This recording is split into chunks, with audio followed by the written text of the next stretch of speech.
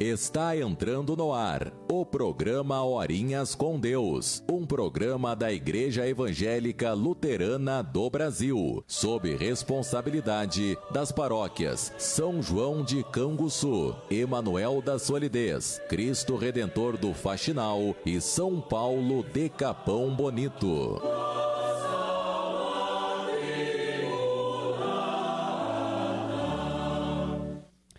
Muito boa tarde aos ouvintes do programa Horinhas com Deus desta terça-feira. Uma alegria poder estar com você mais uma vez para compartilhar a palavra de Deus. A palavra que vos trago no dia de hoje é do texto de Romanos, capítulo 5, versículos 8, que diz assim: Mas Deus prova o seu próprio amor para conosco pelo fato de ter Cristo morrido por nós, sendo nós ainda pecadores.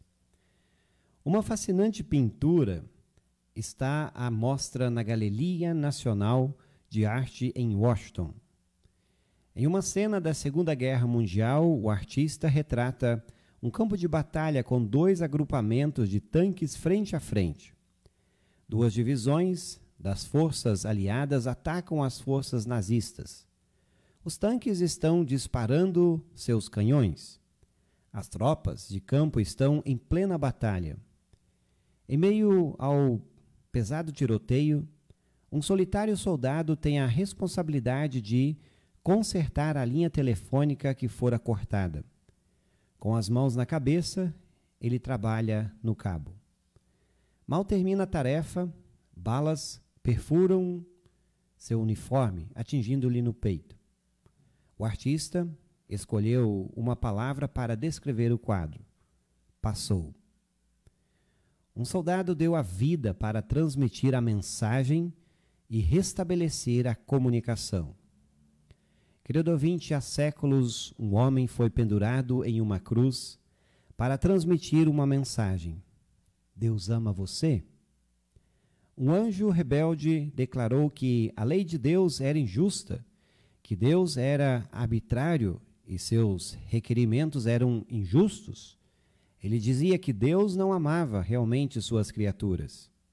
Mas, de modo eloquente, a cruz respondeu aos argumentos de Satanás, revelando duas verdades eternas: o efeito mortífero do pecado e a extrema bondade de Deus.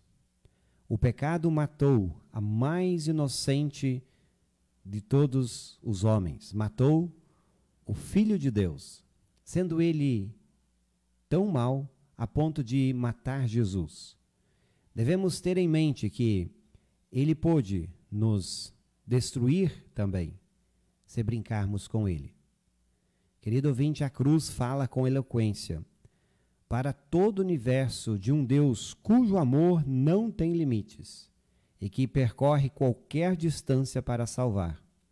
A mensagem de Deus através da cruz é que o céu valoriza você de tal maneira que o próprio Jesus aceitou a condenação do pecado para salvá-lo. Isso é tão incompreensível como verdadeiro. Jesus aceitou a plena culpa do pecado, mesmo isso significando separação do Pai, a permitir que nos perdêssemos. Arriscou-se a perder o céu para que o alcançássemos. Não consigo resistir a esse amor.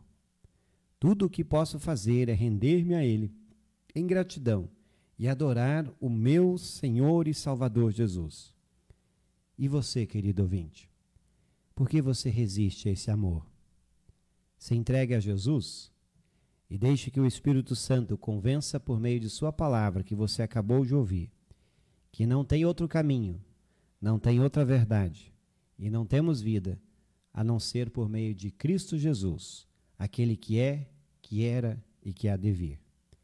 Reflita sobre isso no dia de hoje e ore comigo agora. Querido Deus, obrigado que na cruz, ela que é tão assustadora, me trouxe paz, perdão e salvação. Obrigado por este amor tão grande. Louvemos-te em nome de Jesus. Amém.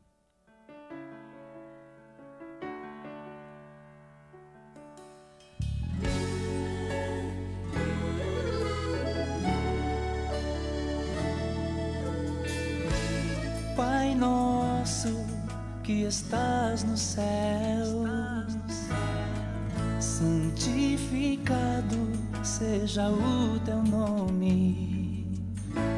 Venha a nós o teu reino e seja feito a tua vontade, assim na terra como no céu.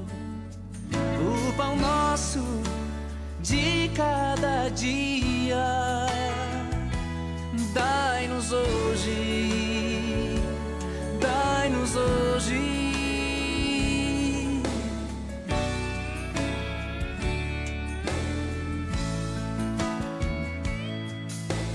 Perdoa as nossas dívidas assim como nós perdoamos os nossos devedores. E não nos deixeis cair em tentação, mas livrai-nos do mal. Amém. Amém.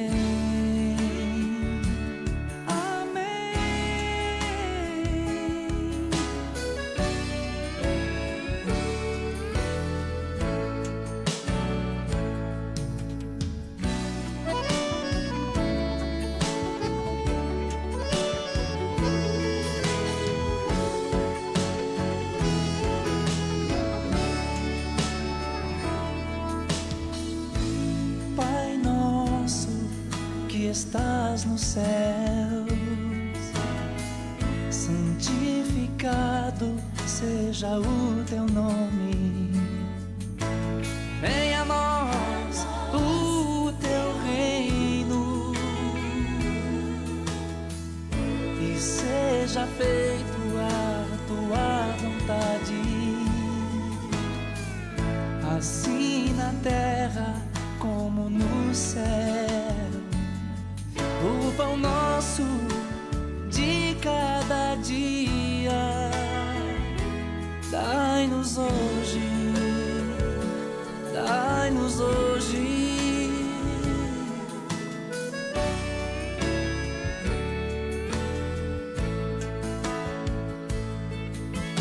Perdoa as nossas dívidas, assim como nós perdoamos os nossos devedores. E não nos deixeis cair em tentação, mas livrai-nos do mal. Amém.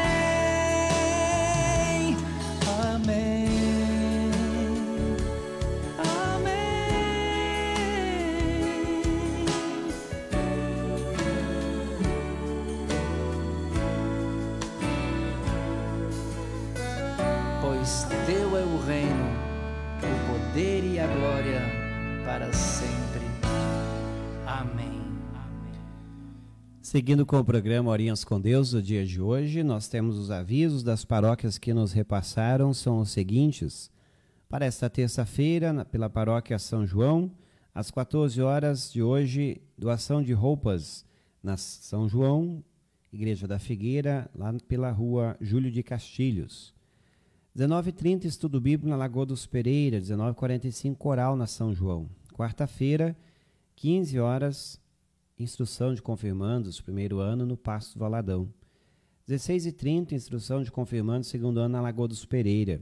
19 horas, ensaio, programa de Natal na Lagoa dos Pereira e 19h30, culto na São João, após reunião da diretoria paroquial. Quinta-feira, 19h30, estudo bíblico no Passo Valadão. Sexta-feira, 10h30, casamento de Jéssica Belling da Silveira e Denner Almeida Gomes. E 18 horas, pré-confirmandos na São João. Sábado acontece, neste final de semana, então, aqui em Canguçu, a Olimpíada Esportiva do Dicamp. Início no ginásio municipal, às 8h30, com inscrições, e às 9 horas, culto. 14 horas, escolinha dominical na São João. 14h30, escolinha dominical na Igreja da Cruz. 14h30, culto no Pasto Valadão após reunião de servas. 17 horas, culto na Glória. 19h30, culto na Igreja da Cruz. Domingo, dia 26, 9 horas, culto na São João com ação de graças pelo passamento de Fábio Vieira Jorge. Aviso da paróquia Cristo Redentor. Lembramos então que hoje, instrução de adultos às 17 horas aqui na cidade.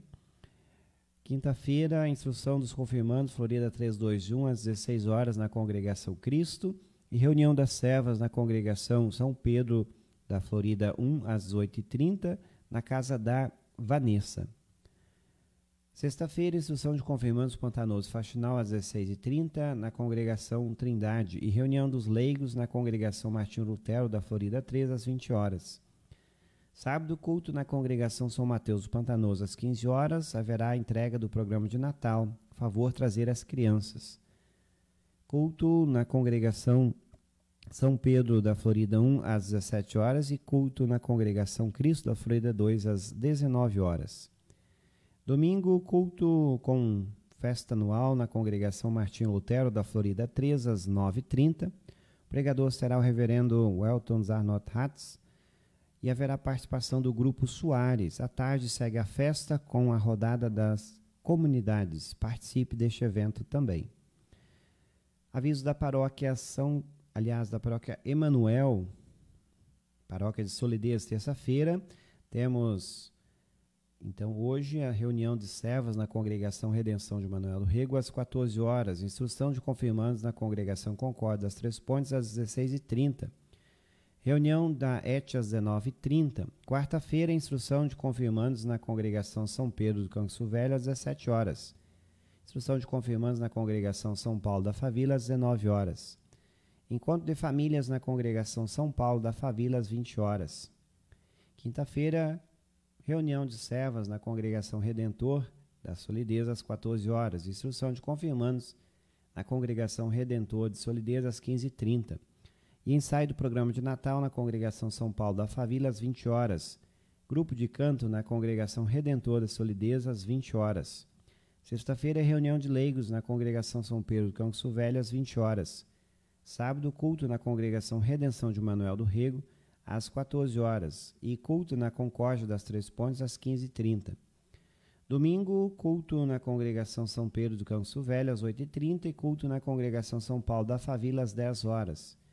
E também haverá a Olimpíada Esportiva do Dicamp, início no Ginásio Municipal de Canguçu às 8h30, com inscrições e culto. Isso acontece no sábado.